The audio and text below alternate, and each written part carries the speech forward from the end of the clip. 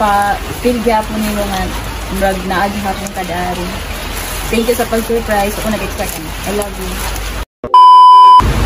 So, what's up mga kapitias? Panibagong araw na naman, panibagong saya, panibagong surpresa. Happy na pagalian, tagati surpresa. And today is September 18, 2022 na takaroon diri sa Balintawak. Pagalian city kay natay surprise nga wife. Lahat na ng anniversary gift. Pag surprise, ikin isa yung very special someone of course. So, let's go. Kantaan na ito sa reactions kung dala ka surprise.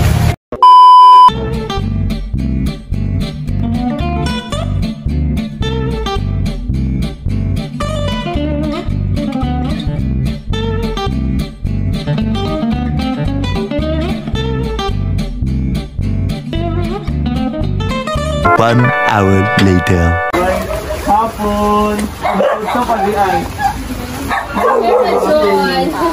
Pag-iay sa mga teacher prasa. There is someone na nakontak sa mga surprise ka sa inyong wedding anniversary. So, wow, si Mama ano padala sa dawata yung mga flower bouquet. And yung happy first wedding anniversary, Mama. I love you. And wow. Ang syempre sa anniversary, dili dyan mawala ng cake. No? Ang cake na ay nakasalat nga, happy first wedding anniversary. So, naa siya message nga gipadala mo. Ang basa ka naman.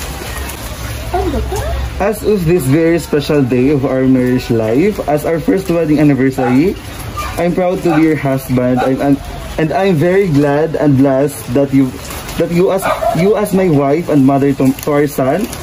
I love you so much, Mama. As from the day we started our journey in life as a couple, God bless bless to us always. Take care always, Mama. And happy first wedding anniversary to us. Wow, wow, wow. And kahit wala ako sa tabi mo ngayon, para mag-celebrate, at least napadarama ko sa iyo na pinaghahandaan ko rin ang araw na to para sa iyo. I love you so much, Mama, from your loving husband. Wow. So, sa response din mo sa ato ang standard kay, Sir, kay Mr. Joe, Joe Pet Hill, Ruiz. Okay. Ay, thank you pa kay maski wala ka uh, mamili mo pasabi o kana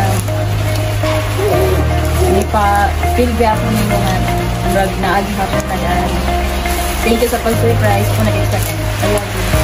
Wow, so happy anniversary niyo. Happy anniversary, happy anniversary niyo, Papa G. So, picture na lang ka na para kung order mo. Ano ito And that was a successful delivery na po tayo na surprise and napaka-happy ka ma-celebrate sa iyahang sa ilahang wedding anniversary today. So thank you so much to, to, to her husband for choosing us pagali ang tagat ng surprise nato. Send you love to your wife. So sa mga natanaw karon nga gusto i-surprise lang mga mahal sa kinabuhi, just message us pagali ang tagat ng surprise. And sa mga natanaw karon nga gusto i-surprise ilang mga mahal sa kinabuhi, just message us pagali ang tagat ng surprise. And don't forget to follow our page. This is Jason Rita, your tagat ng surprise.